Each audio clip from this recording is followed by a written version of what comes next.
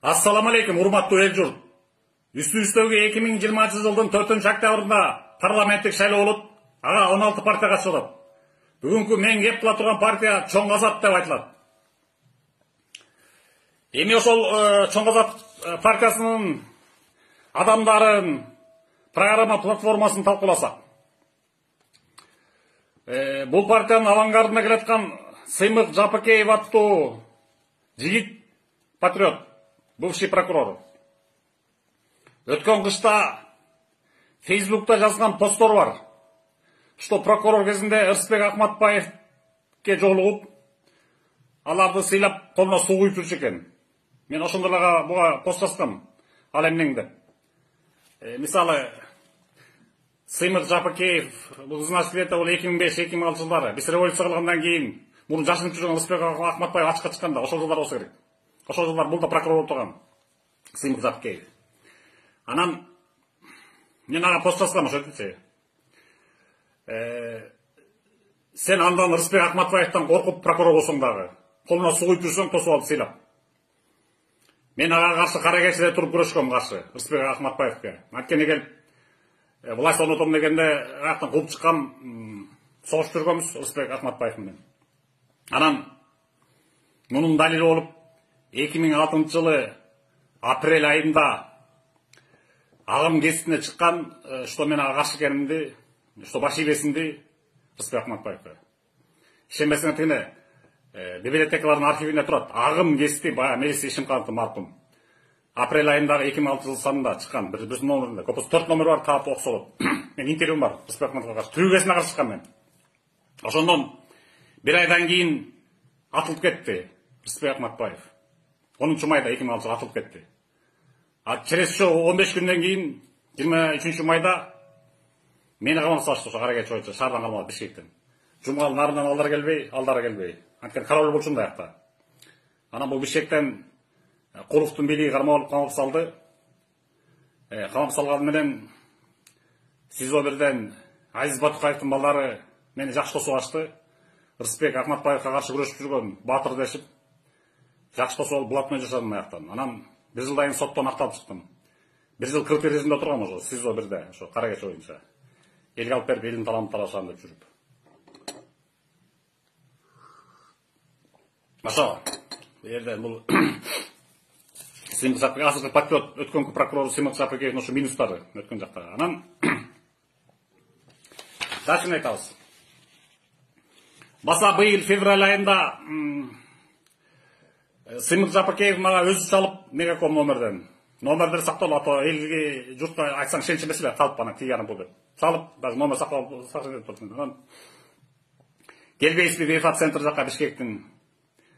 ошол жерден офис бар келип сүйлөшпөйлүбү чоң казак деген партия атабыз кирбейсизби катарыбызга деп чалды анысына рахмат сыймык жапыкеев анан мен айттым дагы катарыңарда кимдер бар? десем максат мамытканов бар дейт бывший ккмшник анан мен сыймык жапыкеевке айттым сен өткөн ушинтип пост жаздың рысбек акматбаевтан ушинтип сыйлап жүрчүмүн прокурор болуп жүрүп анан а мен деген билесиң мен деген ал рысбек акматбаевден окуткон эмесмин убагында кийин могу азыркы срокто өтүп атып зонага бир жыл кетип калчу да молдовановкадан аякта мусулмандар черныйлар баш ийген эмес черныйлар менен чабышып камчы көл байында построить этип таштаганбыз анан мен деген ошондоймун мен любой жерге барсам лидер болуп гана барам десем анда максат мамытканов менен сүйлөшүп көрүңүзчү анын номерин берди мегаком номери максат мамытканов азыркы лидер. Анан максат мамыткановго ошол сөздөрдү айттым ошондой ошондой мен өз баамды баркымды абдан жакшы билем баамды баркымды ар кандай преступныйлардан опглардан черныйлардан башкалар жана башкалардан тирандардан мен коркпойм салалашам өз баркымды баамды жакшы билем барсам лидерлердин бирөө болуп барам же лидер болуп барам десем ошончо учупка качты менен утуруп кетти анан карантин башталып кетти өзүңөр билесиңер анан же өзүнөн күчтүү лидер менен дело эметкенин коркпочту булар ушундай да короче эми булардын партиясын талдасак булардын жакшы жактары элдин талабын талашып жаткан сыяктуу лозунгдары он олигархтын жегенин кайра алабыз дешет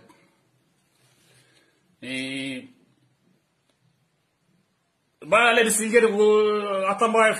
бакиев заманынан бери кошулуп келаткан кумтөр чек ара маселелер экен бүт эле ошол. Айлык маяныларды көбөйтүү короче элдик лозунгдар да булардын лозунгдарын окуп отурсак бирок дагы шектүү жагдай эмне ушул эле максат мамытканов сыймык жапакеевдер тиран атамбаев кезинде вообще унчугушкан эмес попробуй азыркы ушул сөздөрдү сүйлөп көрсүңчү могу азыр сыймык жапакеев сүйлөп аткан революция анан кээ согуш эле ачык айтып атат чоң казак чыгып эле деп ачык сүйлөп атат ошол попробуй бир эле сүйлөп көрсүңчү атамбаев буларды тыгып таштамак да муну камап таштамак анан ушул жагы шектүү болуп атат кандай азыркы азыркы бийликтин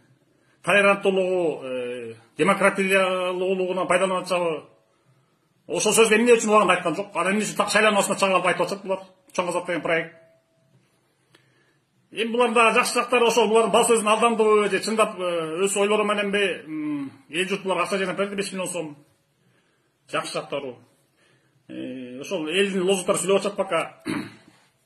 шектүү жактары ошол жана азыркы айтканым коррупциянын ана башчысы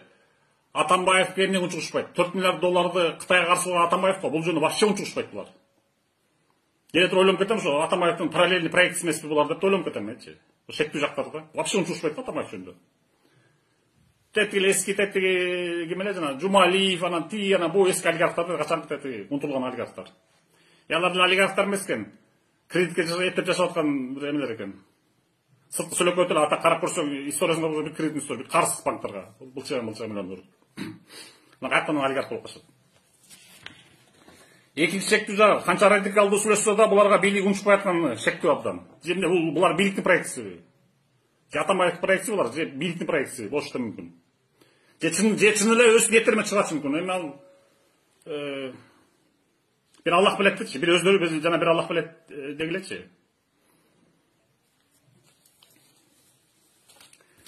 билет дегилечи ошол анан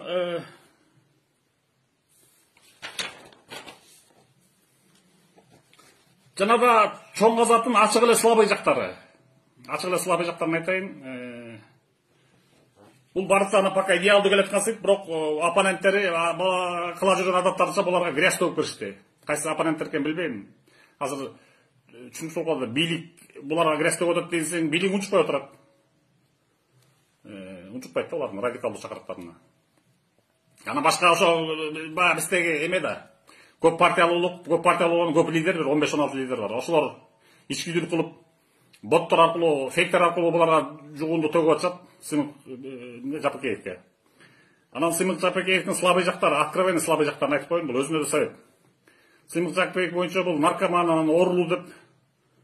жазып атышат айтып атышат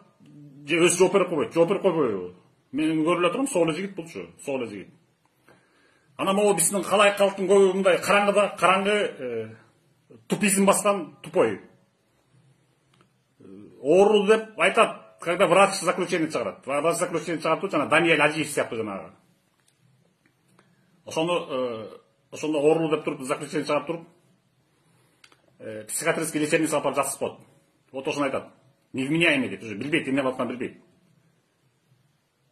кээ бир адамдар бар го арага чыгып алып невменяемый болуп эртеси эмне болгонун билбей ошол сыяктуу болуп калыптыларчы анан?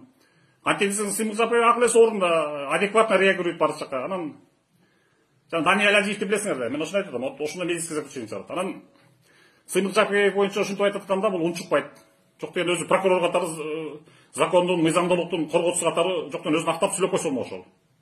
же сотко берсе болмок ушуларды мына кечээ теледебаттандагы тиги оппонент айтып атат сен орусчаңсың тигүү деп. Жапыкеев жооп бериш керек болчу на месте жооп бериш керек болчу актанбай мен прокурордун сурап турганда актанбай а сен өзүң кимсиң деп туруп өздөрү өзүнө жараша бериш керек болчу анан ошол эми мен ойлоп атам булар азыркы президенттин сооронбай жээнбековдун айкөлдүгүнөн толеранттуулугунан кечиримдүүлүгүнөн пайдаланып атышат. Ошон үчүн оозуна киргенди оттоп мурдуна киргенди жыртып атышат. Попробуй атамбаев тиран убагында ушинтип сүйлөп көргүлө жөнөкөй эле сөз үчүн жөнөкөй эле сөз үчүн. Көбүбүздү каматып ийген көбүбүздү айдап ийген тияка? Көбүбүздү көп патриот э, көп лидер саясатчылардын каматкандан калган бир элүү чакты саясатчы камалып кеткен атамбаев керанын тушунда попробуй ошол кезде сүйлөп көр эмнеге чын ошол кезде сүйлөбөйсүңөр силер азыр чыктыңар да бакылдап атасыңар. Так шайлоонун астынан чыгып туруп. Же эсептеп тургансыңар ошентип ал кеткенден кийин эле атамбаев кеткенден кийин же аны правительствосуңар жана айткандай анан эми муну уккандан кийин жана бүтүн кыргызстандын мадумаровдун анан жанагы эмелери бар го жанагы көздөрү тумандашып калган фанаттары мен интернетте жамандап аткан сыяктуу бул чоң казактын дагы поклонниктер түшүнүп түшүнбөй эле мен жерде мен каласа айттым мисалы жакшы жагын да айттым жаман жагын да айттым мен бир бир тараптуу каралган жокмун сынык жапыркеевди жана чоң казакты эл журт туура түшүнгүлө билесиңер жана бүтүн кыргызстандын ярый фанаттарындай болуп мени тепкилеп жатып каласыңар мен бул жерден куранда алла таала айткан бир гана сөздү келтирем умрите со злобы деген аят бар. Өз ачууңарга муунуп өлгүлө ошентип мени тештирбей туруп тепкилеп кирсиңер ушундай аят бар. Аят куранда алла таала өзү айткан ошентип сага ызырынгандарың барына умрите со злобы деп эле деген аят бар. Умрите со злобы так что. Ошол. Эми ана эстебейли эсептебейли баа бербейли баары бир калың эл өзүңөр чечесиңер а так жалпы идеясы жакшы мындай ачыкча радикалдыгын алчуктап анан мындай эмени кесип салбаса а так эле партия сыяктуу чоң казак өзүңөр чечесиңер мен болгон калк сөзүмдү айтууга аракет кылдым